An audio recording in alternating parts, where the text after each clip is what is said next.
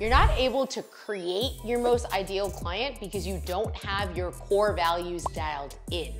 So I was just working with a client recently and she has a core value of love. But the word love is completely generic and it's associated with Hallmark to Christmas to romantic love to your mama loving you.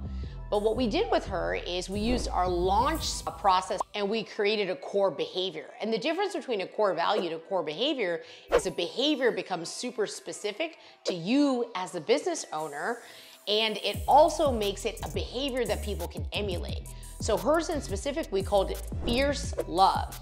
And when we ended up investigating that together and she ran it by some of her closest friends and associates over the years who've known her for more than half her lifetime, they immediately were like, that is absolutely on point. Your love is fierce in the best way possible. She ended up doing a post